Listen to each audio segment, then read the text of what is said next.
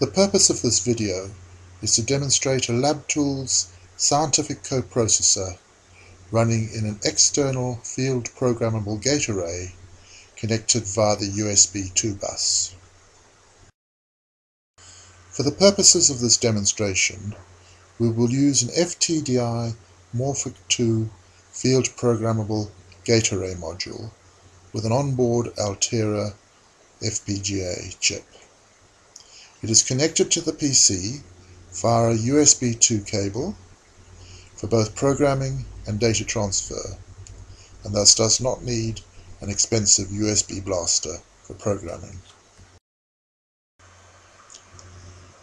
The scientific routine that we're going to implement is a binning algorithm there are a number of possible ways of writing such an algorithm, and the one we're going to choose in software is probably the slowest, but it maps easily into hardware.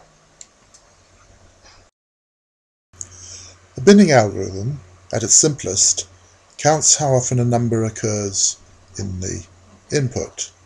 More generally, if we have, say, four bins spread over the range 0 to 10, and in our input vector we have a number like 4.35, then we will drop a 1 into the bin between 2.5 and 5.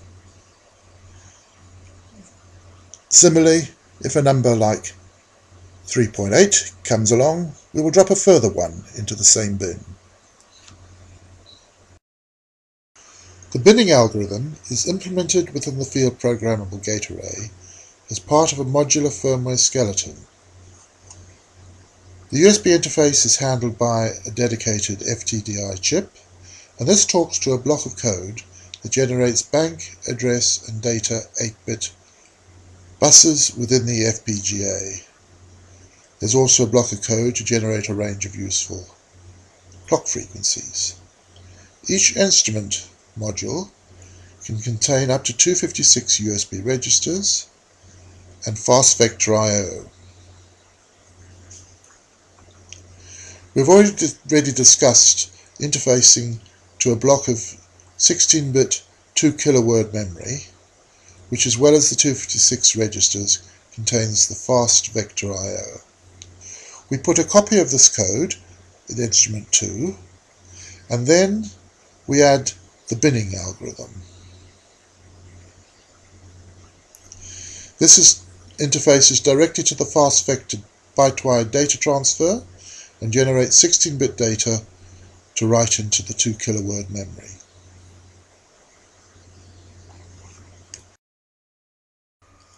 To demonstrate the binning algorithm running in the field programmable gate array hardware, we will use an array processing language called APL, which just makes life easy partly because it can write directly to the field programmable gate array over the USB. First we have to program the gate array, which is very quick. We need to clear a block of memory. We'll do it by simply writing zeros to it. We then need to turn on binning, write enable. We will write just three numbers a 5, a 7 and a 9 and bin those three numbers. Here we go and bin them and we turn off write enable, we turn off binning. Now we can read say the first 10 numbers back and we see we have a 1 in each of the bins 5, 7 and 9.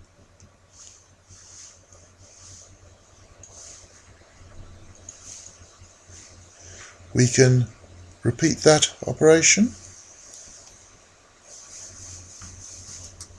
and we see we now have twos in each of those bins. We can display this number, these numbers graphically. Here we plot dots and we see we have a 2 in each of locations 5, 7 and 9.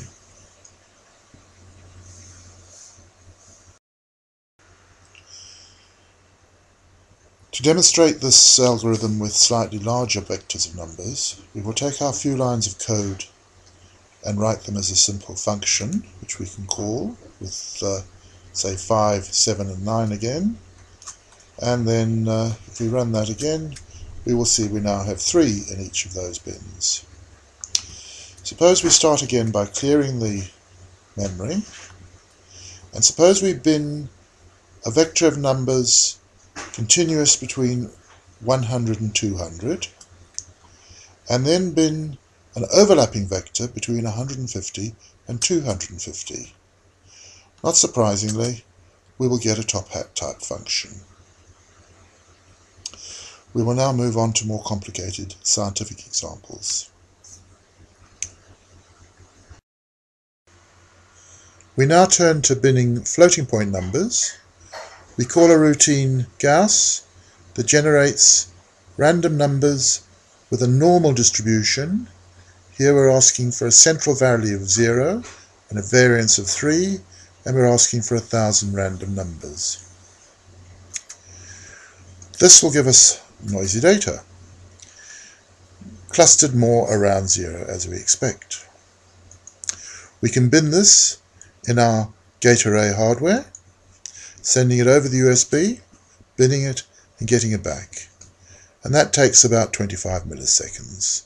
We're timing it with a routine we're calling a Julian timestamp, which returns the Julian time in seconds.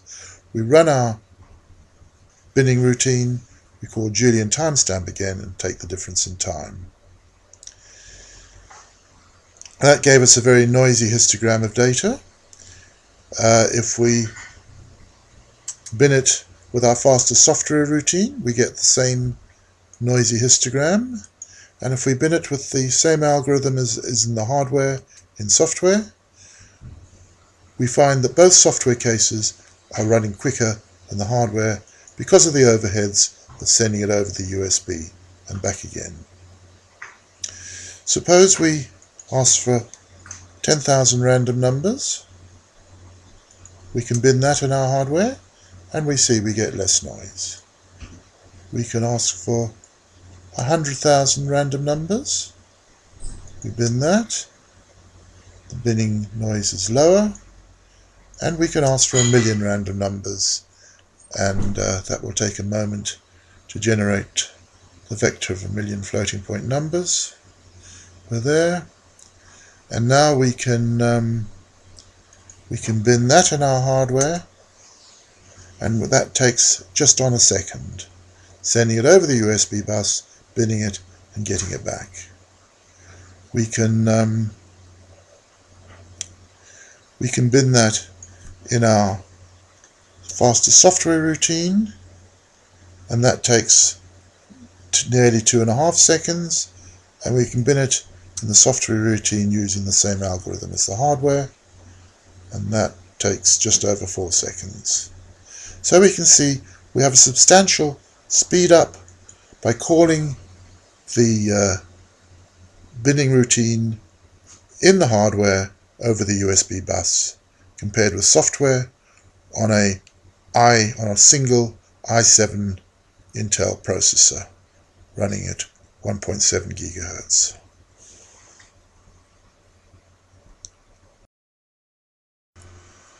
We will now demonstrate the binning coprocessor running as part of a heavyweight scientific algorithm to calculating the scattering from arrays of nanopores. To, to be specific, cylindrical pores on an hexagonal lattice with about a 10 nanometer pore size. We will start two versions of the algorithm, the software version and the hardware version.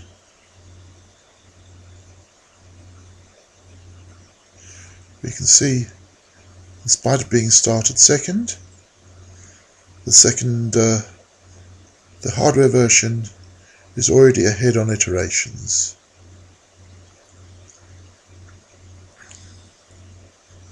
The intention is to move more of this neutron scattering calculation algorithm into gate arrays, possibly part of it in soft processors. Then less time will be taken in USB transfers.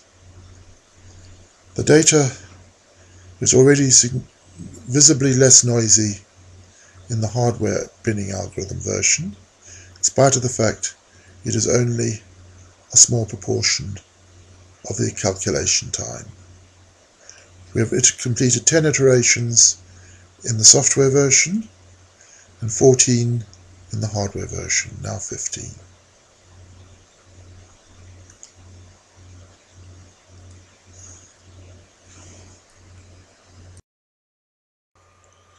LabTools is preparing a set of GUI and other tools to assist with using these field programmable gate arrays both as coprocessors for data collection and for instrumentation control. The bare Morphic 2 FPGA modules are available both from FTDI and from LabTools, and LabTools can sell the modules ready-mated to credit card size headers which interface to a series of uh, fast ADCs, data collection and instrumentation control modules that are under construction and development at LabTools. Cheers.